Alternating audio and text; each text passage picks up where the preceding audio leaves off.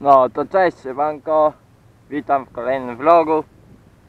Yy, jak widzicie dzisiaj jestem na ściernisku po rzepaku. Talerzujemy.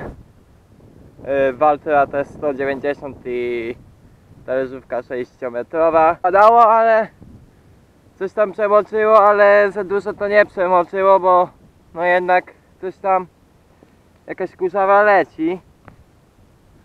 No, tak jak widzicie tu, o, wezmę tak. No niby coś tam leci, jakieś ten, widać, że przemoczyło.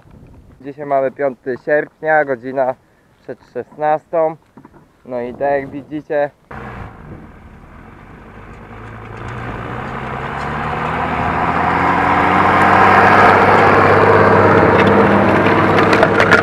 No, tak jak widzieliście, y, ujęcie wam dodałem, idzie jak głupia. No, 190 koni do tej talerzówki to nawet by mogło być więcej, by tego nie czuła. Talerzówka fajnie robi, ona, znaczy powiem wam tak, y, talerzówki co nie mają tego wału gumowego, to by jeszcze lepiej robiły tak tu, zobaczcie, nie ma żad, żadnego, a jak jest już y, ten, ru, y, taki ten e, rurowy, to po prostu te pędy szyfaku przejdą i no po prostu będą stać, nie?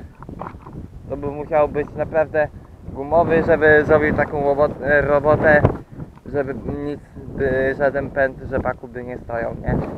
Ale to tam już jak ktoś chce tam bezurkowo na pewno to będzie robił, a tu jeszcze pójdzie pług, to no to wiecie jak to jest. No i tak by to wyglądało.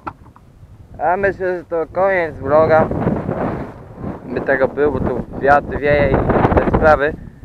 Także dobra. Y, Ja wam dziękuję za 862 subskrypcje.